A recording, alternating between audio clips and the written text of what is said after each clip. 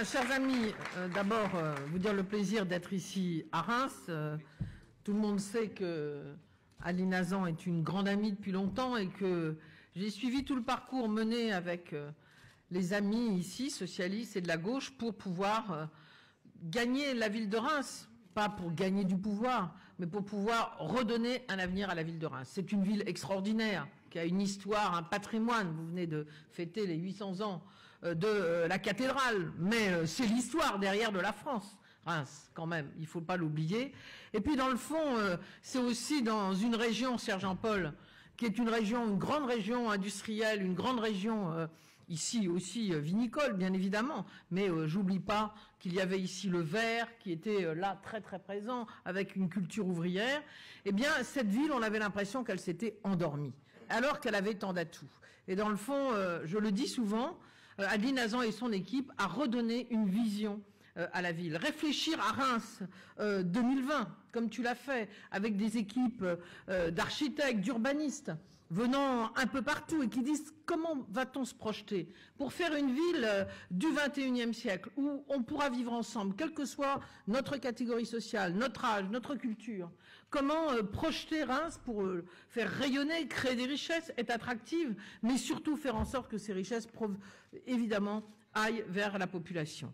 Et ici, nous sommes dans un quartier qui en est un bon exemple, hein, le quartier Wilson, où la rénovation urbaine a pour objectif à la fois d'améliorer la qualité de vie des habitants, le logement, les espaces publics, mais aussi de recréer de la mixité sociale qu'on retrouve après euh, dans les écoles et partout. C'est comme cela qu'on réglera aussi euh, les euh, problèmes de la France. Redresser et justice, je pense que le, slogan fort de François Hollande pourrait être aussi celui d'Adeline Hazan et de son équipe ici euh, à Reims. Donc je suis très heureuse d'être ici, entourée euh, euh, du président de la région Champagne-Ardenne, Jean-Paul Bachy, entourée de, du patron des socialistes ici, Jacques Meyer, des candidats et notamment, bien sûr, Éric Kénard. Je vais, évidemment, nous sommes dans une campagne qui est, nous sommes à moins de 80 jours de l'élection présidentielle. Et euh, dans le fond, quand on regarde notre pays, on se dit qu'il va bien mal. Et quand on regarde en même temps autour de nous et quand on voit comment on peut faire bouger une ville comme celle de Reims, on se dit que nous avons tellement d'atouts.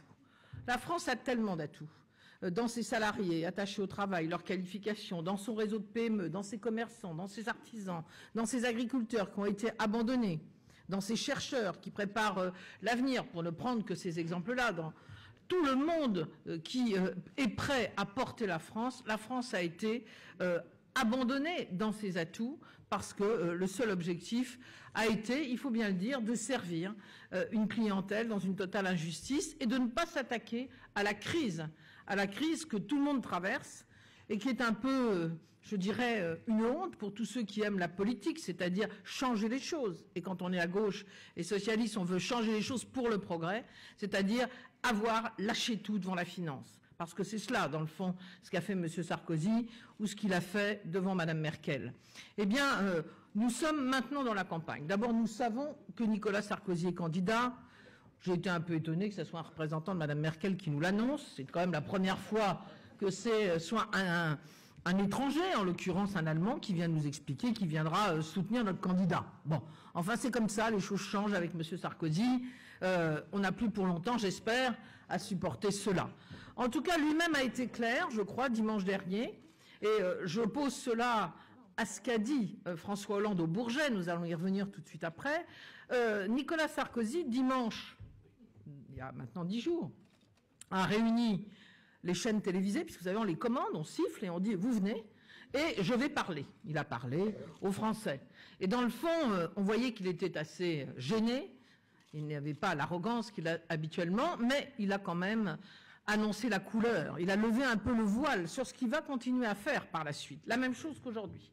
C'est-à-dire, ma politique est la bonne, il n'y en a pas d'autre, c'est l'austérité. Alors quand il dit l'austérité, bien sûr, c'est pour les classes populaires et les classes moyennes, c'est pas pour les privilégiés, et c'est la précarité, puisqu'il a proposé d'attaquer le droit du travail, faisant semblant de parler des 35 heures et en fait expliquant qu'il faudrait baisser les salaires si on veut que les entreprises reviennent compétitives. Il a préféré parler de l'Allemagne que de la France. Moi, j'aimerais mieux avoir un président de la République qui me parle de la France, de ses atouts, de ses capacités à se redresser. Et il a d'ailleurs raconté beaucoup d'histoires sur l'Allemagne. Les Allemands ont des salaires dans l'industrie qui restent supérieurs aux nôtres. Ils travaillent 150 heures de moins que nous par, an. Voilà. Euh, mais en revanche, ils financent l'innovation, la recherche. Ils ont des banques régionalisés qui sont près des PME, des commerçants, des artisans, et ils s'appuient sur le savoir-faire et la qualification des salariés. Voilà ce que nous voulons faire, euh, et voilà ce que veut faire notre candidat. Et ça, je crois que c'est vraiment important. Alors, il faut quand même dire un mot de ce programme de la droite que nous connaissons maintenant et qui ne nous étonne pas, mais que l'on va cacher. Vous avez vu, on va cacher le bilan, il faut dire qu'il n'y a pas grand-chose à dire de positif. On me demande souvent qu'est-ce que... Il n'y a rien de positif, je dis peut-être la sécurité routière. Mais alors le reste, l'économie c'est une catastrophe, la dette, les déficits, n'en parlons pas, les injustices du patrimoine, des revenus, le chômage a explosé, le déficit commercial n'a jamais été aussi élevé et l'insécurité n'a pas été traitée. Voilà, donc j'ai beau... Et la France n'a plus de poids dans le monde, ce qui est quand même aussi très grave pour tous les Français qui euh, sont fiers quand leur pays porte une voix euh, dans le monde. Alors, il a dit, euh, il ne pourra pas parler du bilan il ne veut pas totalement dire ce qu'il va faire. Il a été obligé quand même d'annoncer cette augmentation de la TVA, que moi j'appelle la TVA Sarkozy qui est une mesure vraiment totalement injuste. Vous le savez bien, quand on augmente la TVA, eh bien, on augmente les prix immédiatement. Et après euh, ces deux premiers plans d'austérité où on a augmenté euh, les mutuelles, par exemple, où on a augmenté les taxes, la CSG, après les augmentations du gaz, de l'électricité, de l'essence encore là, euh, qui atteint des niveaux jamais atteints, alors que le pouvoir d'achat stagne, alors que les loyers continuent à augmenter, eh bien, Là, euh, il a été obligé d'annoncer. Pourquoi? Parce qu'il s'est engagé auprès de la Commission européenne à réduire les déficits. Nous aussi, avec François Hollande, nous les réduirons. Mais pas en augmentant la TVA, en allant reprendre les niches fiscales, les cadeaux fiscaux, la baisse de l'ISF, le cadeau sur les successions aux grandes fortunes qui ont été portées, oui, comme cela, nous récupérerons effectivement de l'argent. En faisant payer plus les banques, les grandes entreprises qui aujourd'hui payent un impôt sur les sociétés bien plus faible euh, que les petites entreprises qui, elles, au contraire, ont besoin effectivement d'avoir un impôt plus faible pour pouvoir investir. Donc, le choix de M. Sarkozy est simple. Continuer à augmenter les impôts des classes populaires et moyennes et casser le code du travail puisqu'il propose que des accords puissent remettre en cause les lois.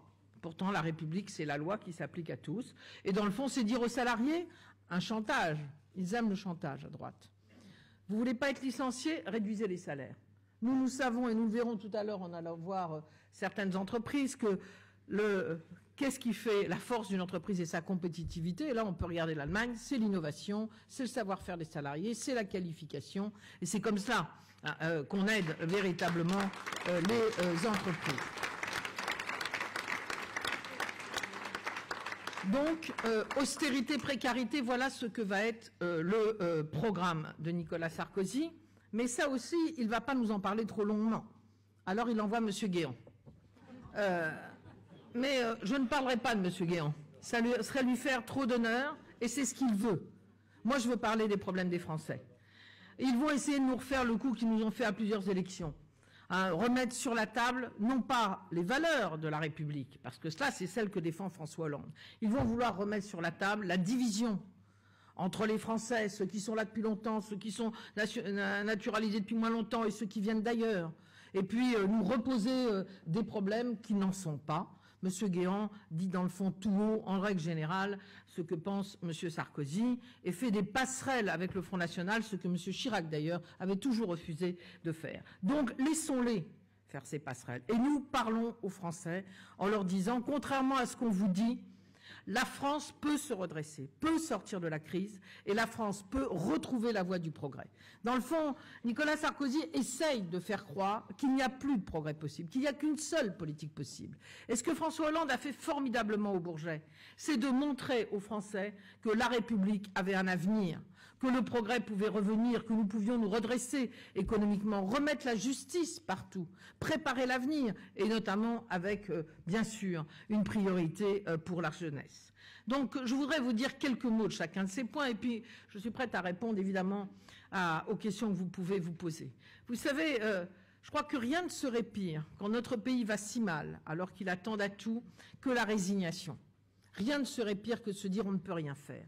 Et dans le fond, ce que François Hollande nous porte aujourd'hui, c'est montrer que la politique, ça a un sens. La politique, et le courage, pour reprendre ce terme de M. Sarkozy, c'est pas de donner toujours plus aux grandes entreprises, aux banques et à ceux qui ont déjà tout. La politique, c'est de mettre en place la justice, même si c'est pas toujours facile. La politique, c'est pas d'aller s'écraser devant Mme Merkel, qui ne veut pas euh, une autre Europe, une Europe moins financière, une Europe qui relance la croissance et l'économie. C'est d'aller lui tenir tête en amitié avec le peuple allemand pour lui dire nous voulons une autre Europe. Euh, la politique, la vraie et le courage, c'est effectivement de s'attaquer aux problèmes de la France et de retrouver la voie du progrès. Je crois que c'est vraiment cela le choix que les Français auront à faire. Et nous, nous devons, à vous tous et vous tous autour de vous, dire euh, à tous ceux qui sont un peu désespérés, et euh, on le serait à moins avec ce que l'on vient de vivre, eh bien, il y a une autre voie possible elle n'est pas simple dans la crise actuelle, mais cette, voie, nous allons l'entraîner euh, derrière François Hollande et avec nos amis d'ailleurs européens, avec lesquels on a beaucoup travaillé euh, ces derniers mois. Alors, le redressement.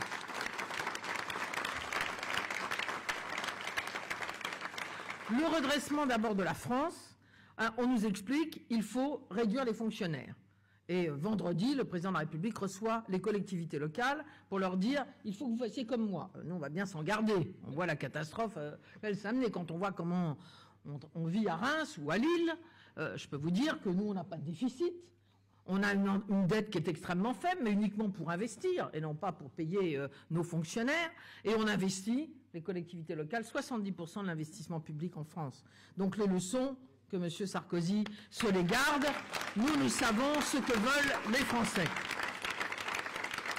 Alors, oui, nous disons, il n'y a pas de fatalité à cette crise. Et d'abord, il faut faire, et c'est ce que François fera, François Hollande, il faut faire ce que le gouvernement français n'a pas fait, ce que les conservateurs au pouvoir n'ont pas fait euh, en Europe, mettre les banques au service de l'économie et au service des particuliers, alors qu'aujourd'hui, elles gouvernent le monde. On n'a rien fait pour arrêter la spéculation. Rappelez-vous, quand on a donné de l'argent, les 20 milliards aux banques, nous avions dit, nous, il faut leur demander en contrepartie qu'ils aident les petites et moyennes entreprises, qu'ils apportent aux particuliers qui ont besoin de l'argent pour les logements, qu'ils baissent les agios qui sont scandaleux aujourd'hui.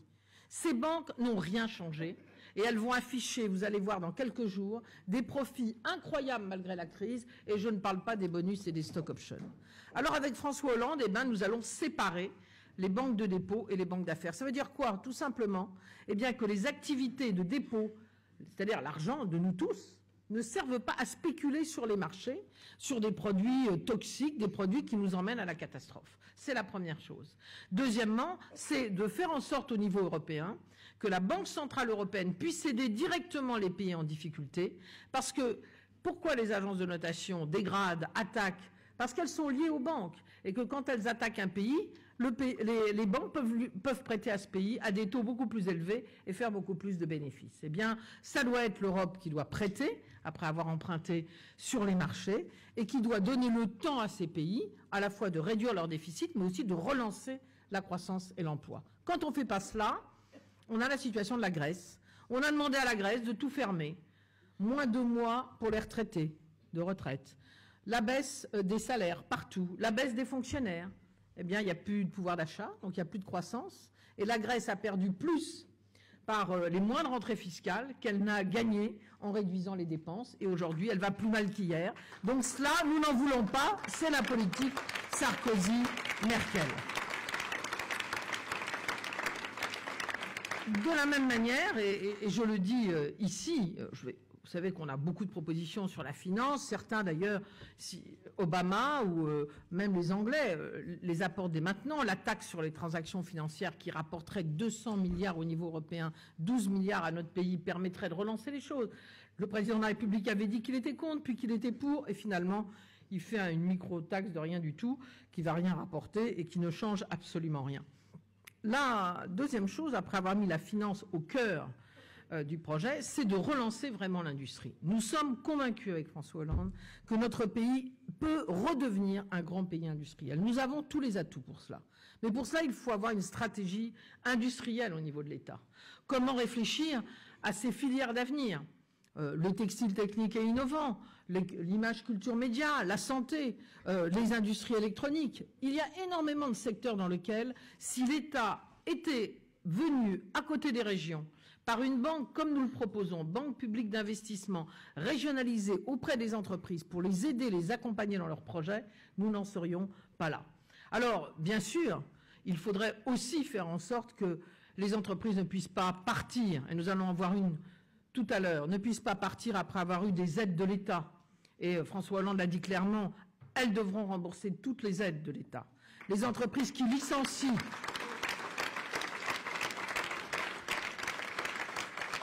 alors qu'elles gagnent de l'argent, eh bien, euh, devront elles aussi faire en sorte que le reclassement des salariés soit réel et pas seulement un chèque donné pour solde de tout compte.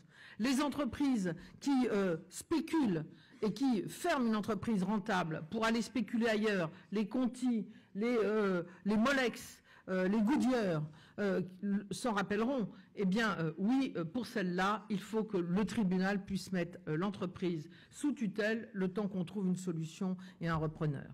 Alors, j'ai vu que dans ces dernières semaines, le gouvernement brutalement euh, s'intéressait à l'industrie. Ils ont retrouvé un repreneur pour le Jabi.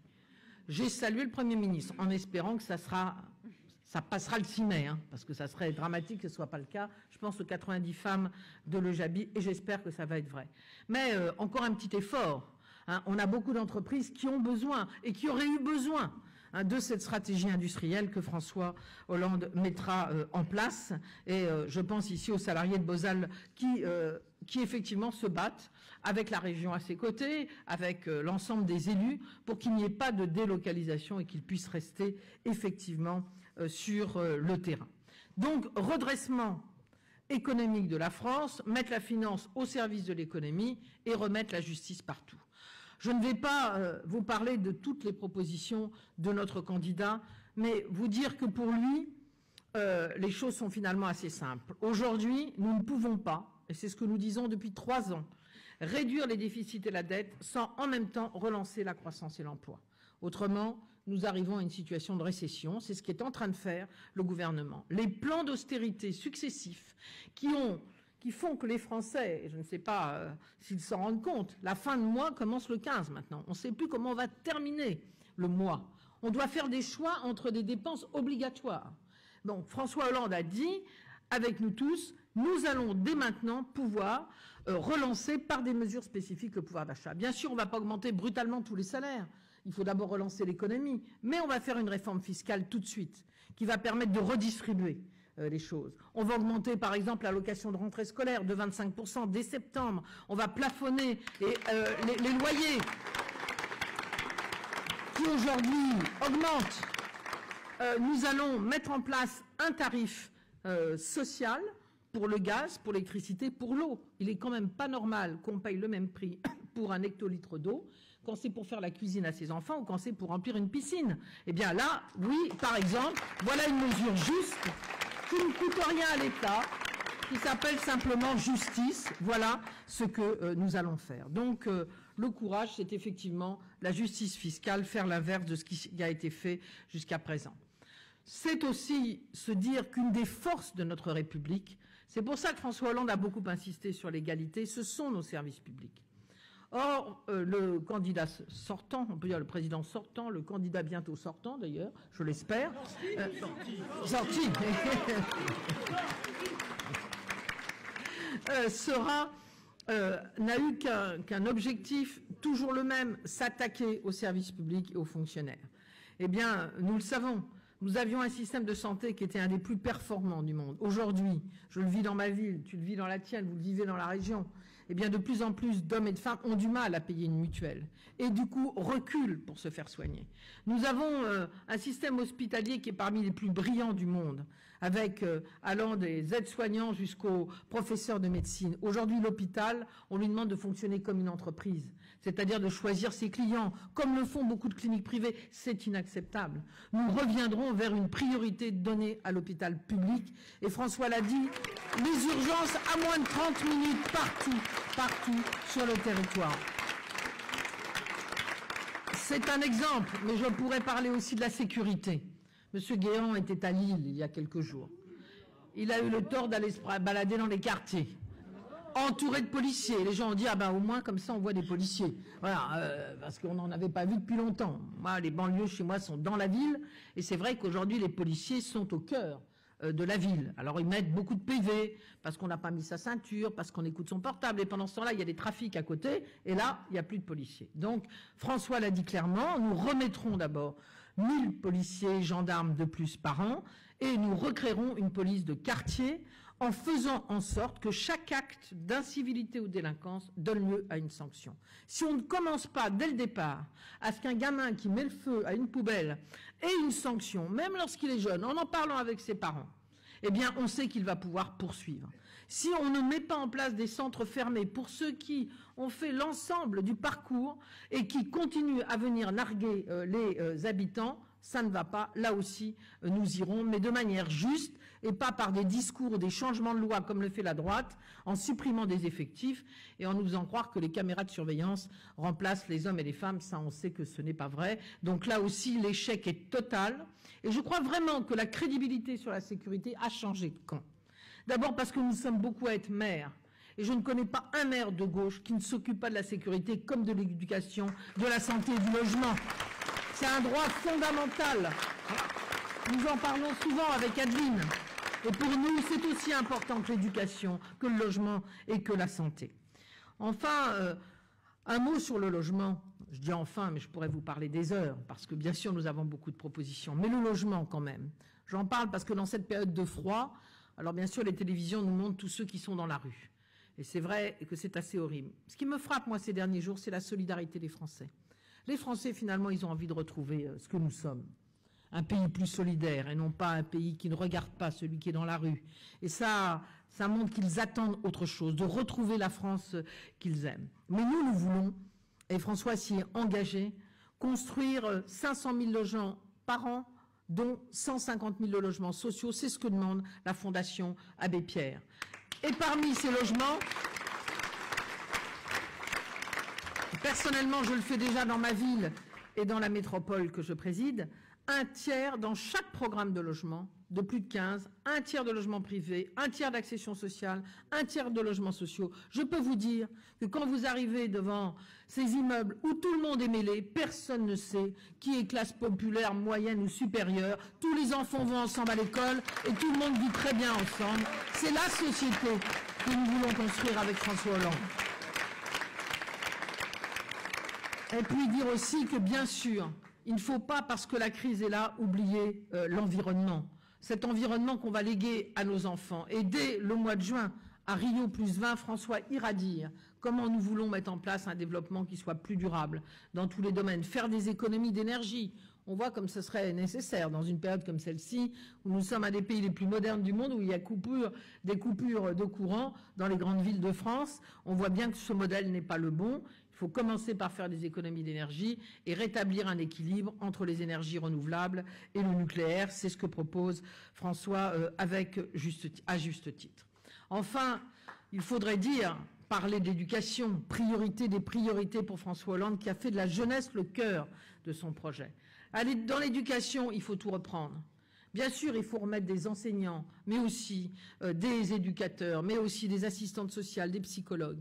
Il faut que les enseignants puissent se concentrer sur leur métier, apporter des connaissances, amener les enfants à réfléchir, les porter le plus haut possible et qu'ils ne soient pas obligés en même temps d'être assistantes sociales, médecins, euh, accompagnateurs. Il faut les accompagner et leur redonner la fierté de leur métier. Il n'y a pas de plus beau métier pour un homme ou une femme de gauche que d'aider un enfant à réussir sa vie. Et c'est cela le métier d'éducation, profondément. et devenir euh, un citoyen. Enfin, je, je voudrais dire que pour nous, la crise est là, mais que des nouveaux droits doivent aussi être là. J'avais beaucoup défendu l'idée de l'égalité des salaires hommes-femmes et François Hollande l'a repris au cœur de son projet. Comment est-ce possible qu'au XXIe siècle, une des plus grandes démocraties du monde continue à accepter que les femmes et les hommes ne soient pas payés pareil dans une entreprise? Eh bien, il l'a dit, on laissera un délai, trois ans, quatre ans, on va réfléchir. Mais au bout de cette date-là, les entreprises qui n'auront pas l'égalité salariale se verront retirer toutes les réductions de cotisations sociales et toutes les aides publiques. Je crois que c'est vraiment important de le faire. De la même manière, de la même manière, euh, le droit de vote des étrangers aux élections locales. Moi, je le défends avec force parce que ce sont euh, nos convictions. Je le dis aux côtés d'Adeline, nous avons été très peu nombreux à défendre cela. Et pourquoi le dire? Bien sûr, il faut être français pour faire voter la loi, pour être député, pour être sénateur, pour être maire, pour être président de conseil général. Mais quand vous habitez dans une ville, quand vos enfants vont à l'école, quand vous êtes représentant de parents d'élèves, représentant de l'association de locataires, vous avez un avis à donner sur votre ville. Comment est-ce possible que l'on n'accepte pas qu'il y ait ce vote qui vous dit vous êtes dans notre communauté, vous en respectez les règles? Bien sûr, mais on vous reconnaît pour ce que vous êtes, eh bien nous défendons ce droit de vote aux élections locales.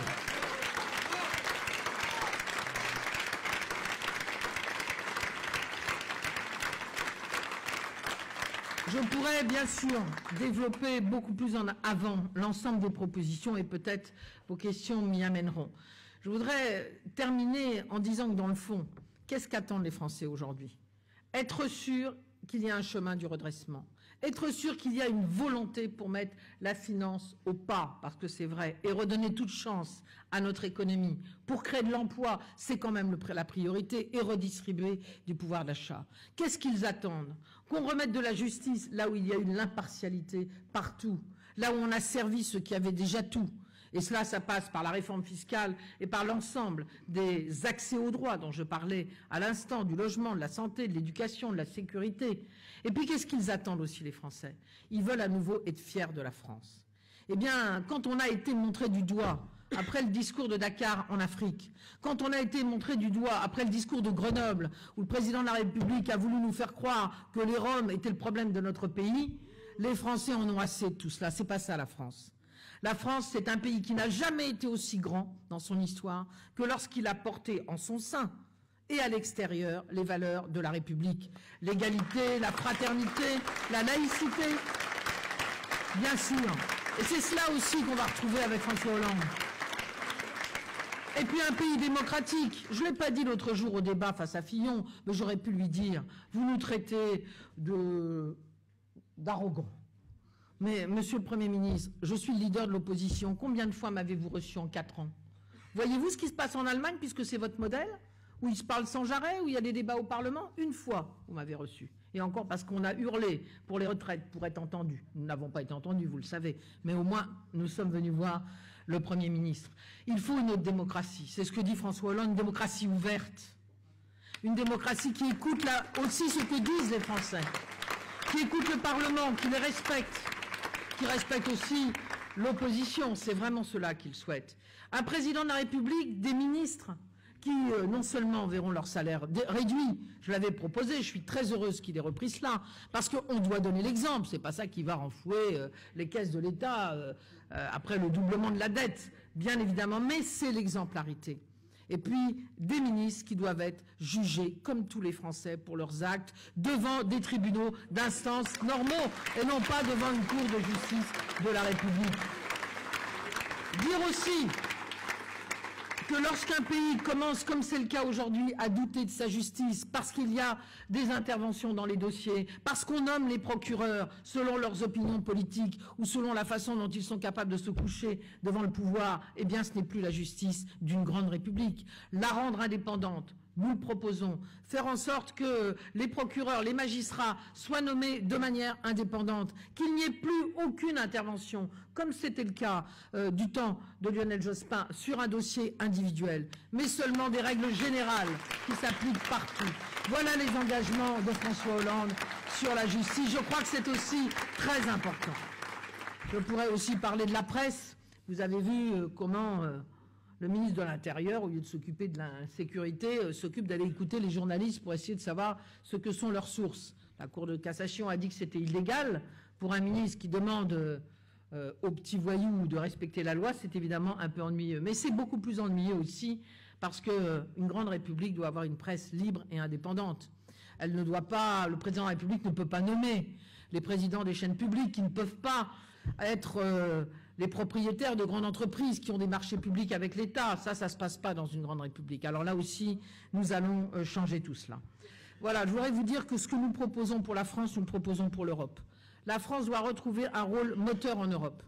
Le président, le nouveau président du groupe socialiste et sociodémocrate au Parlement européen, il a été nommé il y a un mois, vient de faire une déclaration avant que ce traité sur l'austérité de Mme Merkel et de M. Sarkozy ne soit ratifié dans les pays, il a dit attendez le mois de mai 2012. Si François Hollande est élu président de la République française, beaucoup de pays en Europe voudront suivre la France vers une autre Europe.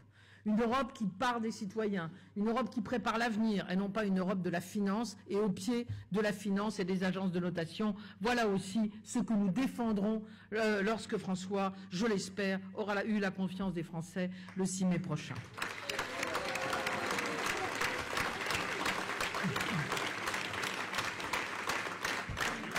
Savez, euh, notre pays est un grand pays. Et euh, on ne peut pas défendre des grandes idées à l'extérieur de la France si on ne les défend pas en son sein. Et ça a été tout le problème de M. Sarkozy. Comment pourrait-il aller donner des leçons à l'extérieur, alors que notre pays est en pleine crise, alors que les inégalités n'ont jamais été aussi grandes, alors que les Français le contestent?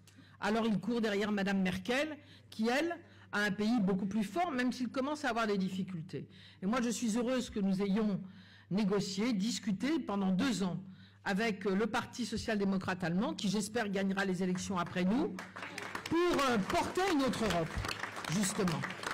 Alors, euh, Mme Merkel et M. Sarkozy se serrent les coudes. Non pas comme deux chefs de gouvernement qui veulent sortir de la crise, vous les avez vus lundi soir, mais finalement comme deux chefs de clan qui se disent on va essayer de gagner nos élections. Ah, j'aime bien Madame Merkel. Ah, j'aime bien Monsieur Sarkozy. Il a fait tout ce que je lui demandais. Voilà. Eh ben nous, c'est bien ce qui nous embête d'ailleurs, c'est qu'il ait fait tout ce qu'elle lui demandait. Nous, on veut un autre rapport et une autre Europe et un autre rapport entre l'Allemagne et la France. L'Allemagne et la France sont des pays qui ont été amis depuis que Kohl et Mitterrand ont dit ne parlons plus du passé, préparons l'avenir ensemble, mais pour préparer un avenir qui soit un peu plus radieux. Mais il faut surtout que les Français comprennent où sont nos propositions dans chacun des domaines qui les intéressent. C'est pour cela que, euh, avec euh, tous euh, les amis socialistes et de gauche, car il y a eu beaucoup d'hommes et de femmes qui nous ont rejoints, 3 millions aux primaires, nous devons aller dire aux Français qu'il y a une autre voie, qui retrouvera la voie du progrès et qui retrouvera aussi la France que nous aimons, celle que d'autres pays regardaient avec envie, alors qu'aujourd'hui nous sommes souvent montrés du doigt. Moi, vous savez, j'en parle souvent avec Adeline, euh, à chaque fois qu'on propose des grandes choses aux Français, ils sont là. On le voit dans notre ville. Quand on leur demande des actions de solidarité, ils sont là, de fraternité. Quand on leur dit, euh, là, il faut se pousser un petit peu parce qu'il faut laisser la place aux autres, ils sont là aussi. Encore faut-il leur dire cela et ne pas leur faire peur, les replier sur eux-mêmes. Voilà, et eh bien François Hollande propose ce chemin, redresser la France et en même temps apporter la justice. Et nous savons que nous ne pourrons pas le faire sans les Français, car on a besoin de vous de vous tous, ceux qui êtes bénévoles dans les associations, ceux qui tendent la main à une personne âgée à côté d'elle, ceux qui, euh, bien évidemment, s'occupent d'un enfant qui est en train de déraper. Ça, c'est la France. Et puis une France qui est heureuse de vivre dans sa diversité. C'est une force pour notre pays. C'est une force dans notre ville. On s'ennuie quand on est tous pareils. En tout cas, moi, je suis comme ça. Voilà. Donc, j'aime bien être avec des gens différents, d'âge, de culture, de catégorie sociale. C'est ça la force de notre pays. Et c'est ça que François va remettre en avant. Il va nous permettre de retrouver cette France qu'on aime, non seulement nous, les Français, ou ceux qui vivent en France, mais aussi ce que les autres pays ont toujours aimé dans notre pays. Voilà. Alors, euh, je compte sur vous jusqu'au 6 mai, parce que véritablement, la France a besoin d'un changement maintenant. C'est le slogan de François Hollande, et je crois qu'il le porte avec euh, une force, une énergie qui fait que jour après jour, plus de Français seront convaincus que non seulement ils vont voter pour lui, mais qu'il faut qu'ils montent dans le train pour nous aider à retrouver notre beau pays. Voilà, merci.